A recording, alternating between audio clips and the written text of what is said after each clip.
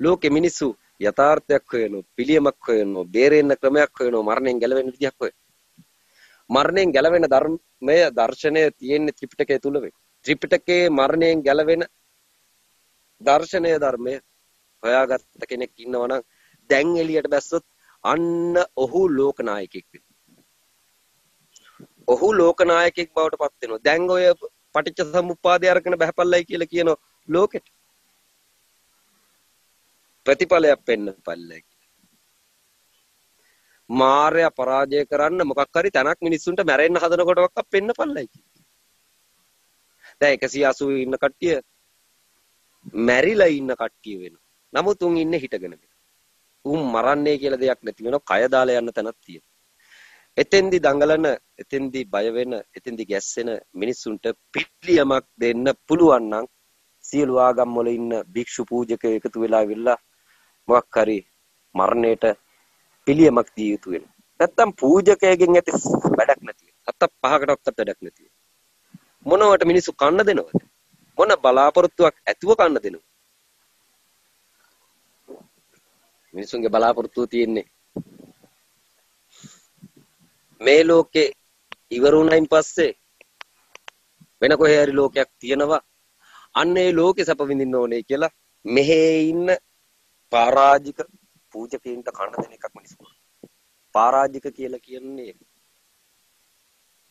ධර්මය අරාජික කරපු මිනිස්සු ධර්මය අරාජික කරපු මිනිස්සු පරාජිකා කියලා කියන පරාජිකා භික්ෂුවකට දාන දීලා මිනිස්සු යන්න ලෑස්ති වෙන්නේ දිව්‍ය ලෝකේ නම් උන්ට ඒක හීනයක් වෙන්නේ ස්වර්ග රාජ්‍යයට නම් දේව රාජ්‍යෙට නම් යන්න ලෑස්ති වෙන්නේ උන්ට ඒක හීනයක් වෙන්නේ යන්න තියා හිතන්නවත් බැරි වෙනවා.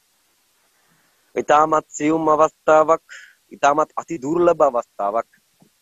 ලබලා තියෙන සියලු ජනතාව අති දුර්ලභ අවස්ථාවක්. ලෝකේ දකින්න පුළුවන් අවස්ථාවක්. ඉතිහාසයේ දකින්න පුළුවන් අවස්ථාවක්. අනාගතයේ දකින්න පුළුවන් අවස්ථාවක්. නමුත් මේ සියල්ල ක්‍රියාවට නැංවෙන්නේ මේ මොහොත තුල වෙන්නේ. මේ සියල්ල ක්‍රියාවට නැංවෙන්නේ මේ මොහොත තුල වෙන්නේ. මේ මොහොත තුල නිර්වාණය ස්වර්ග රාජ්‍ය අල්ලා දේව රාජ්‍ය මේ ලෝකේ තියෙන ආගම් 4000ෙම තියෙන කෙලවර තියෙන. මොකක් තුලද? මෙන්න මේ මොහොත තුල. මේ මොහොතේ කියන්නේ මොන මොහොතේ? මේ මොහොතේ කියන්නේ මොන මොහොතේ? මේ මොහොතේ කියන්නේ මේ මොහොතේ. එහෙම මොහොත කියලා ගණනය කරන්නේ කාලයෙන්ද දීපයෙන්ද දේශයෙන්ද කුලයෙන්ද අතීතයෙන්ද අනාගතයෙන්ද මවගෙන්ද මොකෙන්ද මේ මොහොත ගණනය කරන්නේ? වචනයෙන්ද? කුමන තැනකින්ද මේ මොහොත ගණනය කරන්නේ? මේ මොහොත ගණනය කළ යුතු වෙන්නේ? කාලයෙන් වක්කත් දේශයෙන් වක්කත් දීපයෙන් වක්කත් රාජ්‍යත්වයෙන් වක්කත් උගත්කමින් වක්කත් විද්‍යාවෙන් වක්කත් නෙවෙයි මේ මොහොත ගණනය කළ යුතු වෙන්නේ? මේ මොහොතට පෙනෙන දැනෙන ඇසෙන ප්‍රමාණය ග්‍රහණය කිරීමෙන්. මොහොතක් තුල ඇසිය යුතු ප්‍රමාණය කොච්චරද කියලා ගණන් හදලා ඉවර කරන්න බැරි වෙනවා. හරියට ගණන් හරියට අහගෙන හිටිය.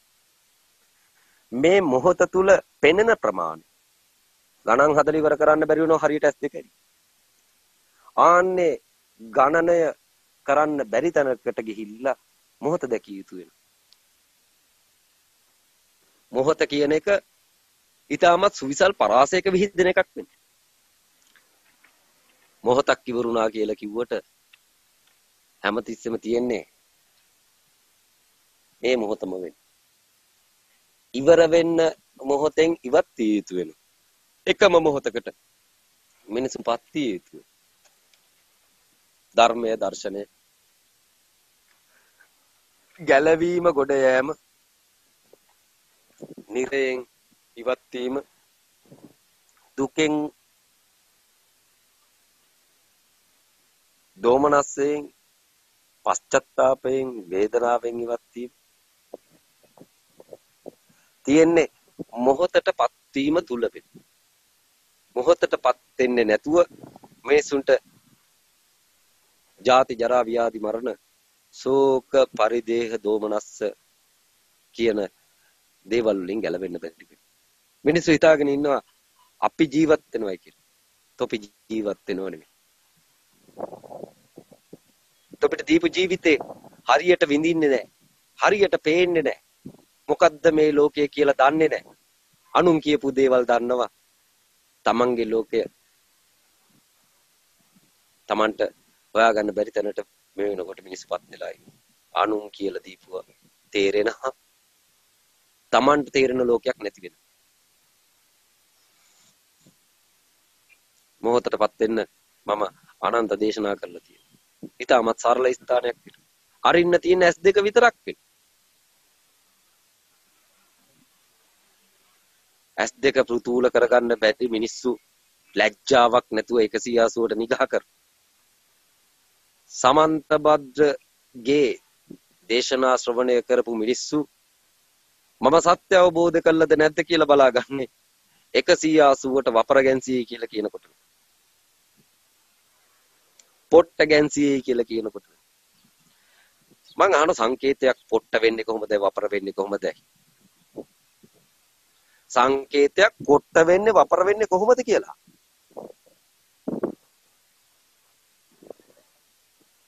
එකසිය අසුව පොට්ට වපර නැති බව එකසිය අසුවෙන් කියන නමුත් තමුල්ල වපර වෙනවා ඉස්පිරිතාලෙට යන්න ලෑස්ති වෙනවා කකුල් දෙක පණ නැති වෙනවා මොකද්දෝ මහා භයංකාර දෙයක් 180 දිහා බලනකොට සිද්ධ වෙනවා. මහා භයංකාර දෙයක් සිද්ධ වෙනවා. මේ මේ 180 කියලා දුන්නේ ඉවර කරගන්න ඕන කට්ටියන්ට. මේ ජීවිතේ මේ විශ්වයේ යථාර්ථය තේරුම් ගන්න ඕන කට්ටියන්ට විශ්ව දොරටුව වෙනවා 180 කියලා දුන්නේ. විශ්ව දොරටුව අභිබවා ගන්න බැරි. පූජකයින්ගෙන් බණහපු අනුගාමිකයෝ ඇවිල්ලා මේකට නිගහ දෙනවා නම් මේකට අපහාස කරනවා නම් ඒ තමන්ගේ මරණයේ දොරටුවට කරගන්න අපහාසයක්. මරණයේ දොරටුවට කරපු අපහාසයේ ප්‍රමාණය තමන්ගේ මතු භවයට හේතු වාසනාවක්. මරණයේ දොරටුවට කරපු අපහාසය. මරණයේ දොරටුව ප්‍රතික්ෂේප කරපු ප්‍රමාණය. සෝතාපන්න සමාපත්තිය දකින්නවත් එක්කම තමන් දැක ගන්න. මම මෙච්චර කාලයක් මරණයේ දොරටුව ප්‍රතික්ෂේප කළා තිබුණා. මම ප්‍රතික්ෂේප කරලා තිබුණේ 180. ඒක තමයි මරණයේ දොරටුව. මෙන්න මේක ප්‍රතික්ෂේප කරකට කරගෙන හිටපු එකේ විපාකය තමයි මම මේ විඳවන්නේ කියලා තේරෙන සෝතාපන්න. එතෙක් තේරෙන්නේ නැහැ එතෙක් මිනිසුන්ට තේරෙන්නේ බුදුවරුන්ට මේක සරල වැඩි හින්දා කියලා දෙන්න විදියක්. මිනිස්සු බර දේවල් හොයන. මිනිස්සු ගැඹුරු දේවල් හොයන. තියෙන ඊටමත් සරල ස්ථානයක වෙන. සරල ස්ථානය කෙලින් බලන්න පුළුවන් නම් කෙනෙකුට එහි ගැඹුර Tamanට බලා ගන්න පුළුවන්. තමන්ගේ ගැඹුර හොයාගන්න දීපු දොරටුවට නිගා දෙන සමන්ත භද්‍ර මීපලවාන මහමෙවුනාවේ වහරක බලමුල්ල